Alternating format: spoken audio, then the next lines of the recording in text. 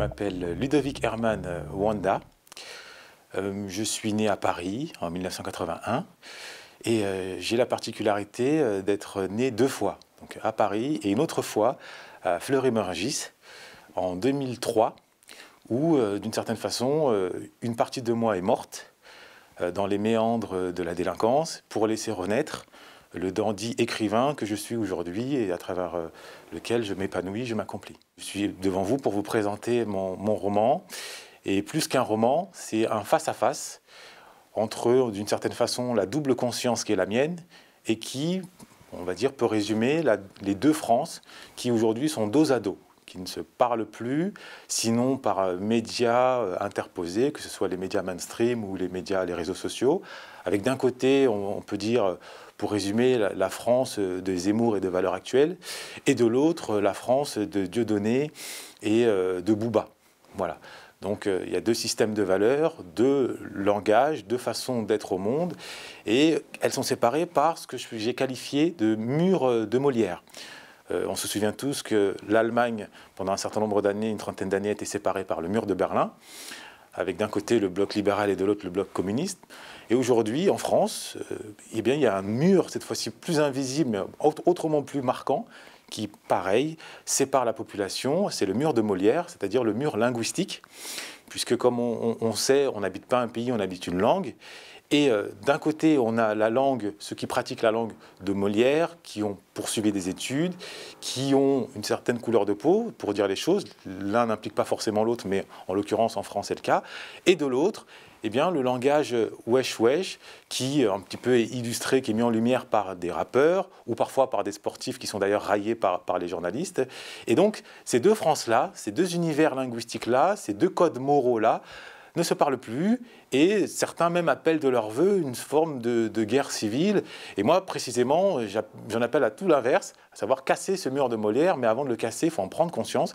Et mon roman euh, permet non pas de jeter la pierre d'un côté ou de l'autre, de considérer qu'une partie a raison ou l'autre a tort, non, mais de rappeler, enfin de mettre en lumière cette complémentarité des points de vue.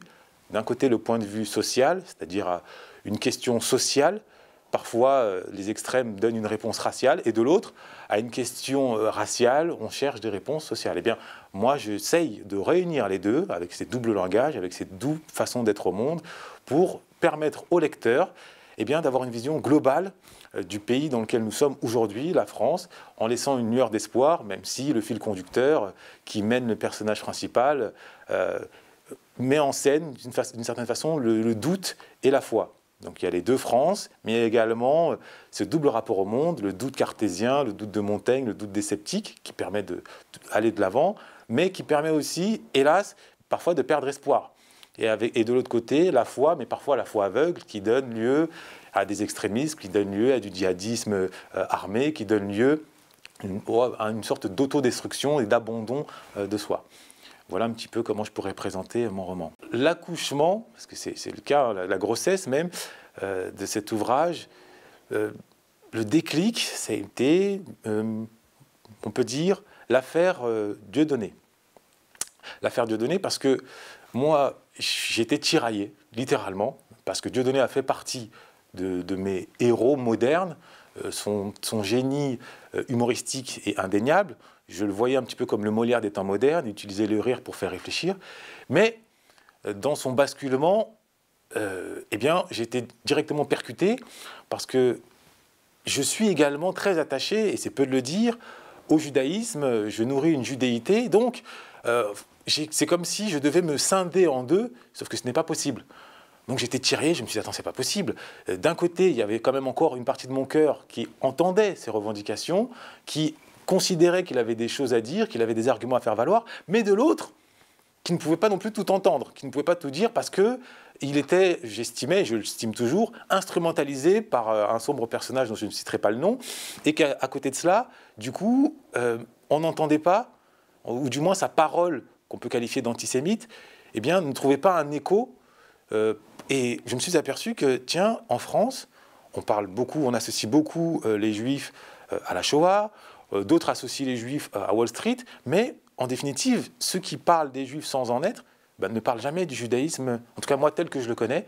Et donc j'ai pris le parti eh bien, d'essayer de réconcilier la part de Dieu donné qui est en moi avec la part, d'une certaine façon, de Zemmour qui est en moi, en mettant en lumière ce que Sartre a fait à sa façon dans Réflexion de la question juive, eh bien, la question du judaïté. Qu'est-ce qu'être juif? Est-ce qu'il existe d'une certaine façon une mission juive, un rôle euh, juif qui ne concerne pas uniquement les juifs, mais sur lequel on peut s'inspirer, que l'Occident a pris à son compte? C'est l'universalisme, c'est la réflexion, c'est la raison, c'est le questionnement.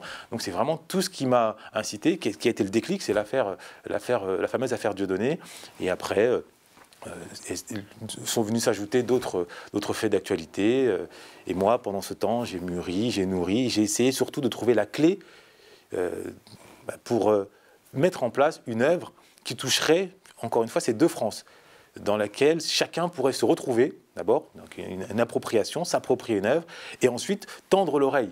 Euh, c'est-à-dire sortir la France, d'une certaine façon, du tribunal dans lequel elle est enfermée aujourd'hui depuis la loi Pleven, le tribunal qui veut que chacun euh, ait sommé ou euh, de demander pardon en cas de parole raciste, ou de condamner autrui, mais jamais on ne s'écoute.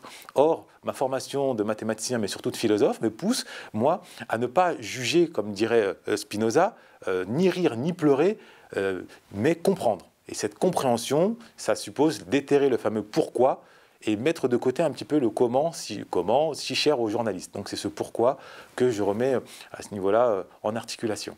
Alors ce que je peux rajouter, c'est que pour toutes celles et ceux qui veulent participer, qui ont encore une lueur d'espoir dans cette foi républicaine, euh, c'est-à-dire la fraternité républicaine, qui ne sont pas tombés dans un fatalisme, qui ne sont pas en quelque sorte les personnes qui ont l'esprit ridé, un petit peu à l'image du radeau de la Méduse, mais qui gardent encore euh, le point levé vers l'avenir, un avenir positif, un avenir de dépassement de ces, clivages-là, eh bien, ils trouveront dans mon ouvrage de l'énergie, euh, qui trouveront des clés de compréhension, parce que euh, au-delà, enfin, je ne suis pas rentré dans les détails, mais j'aborde un certain nombre de sujets fondamentaux. Qu'est-ce que le bonheur? Qu'est-ce que l'identité multiple? Qu'est-ce que le rapport plus ou moins homme-femme? Le rapport entre la foi et le doute, les va-et-vient? Le rapport entre la violence et la force?